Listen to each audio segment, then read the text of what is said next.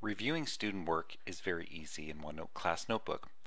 Let's imagine that in my teacher only section of this class notebook I had created a little quiz on parts of a plant that students were to then drag these text labels onto the different parts of the plant. I could theoretically go through all of my students, search through their different sections to look through that um, plant parts diagram that I had distributed through the distribute page to their quizzes section. But what I'll do instead is choose the review student work.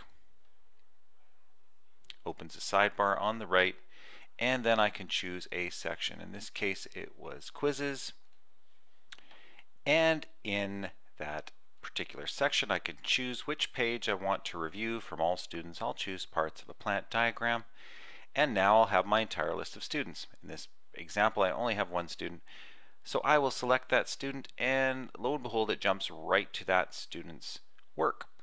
At this point, I can now insert whatever I like. I can add audio recordings, I can add uh, colorful stickers, I can add inking from my different pens. Uh, I can add any feedback I wish to or do any of my grading that I wish to.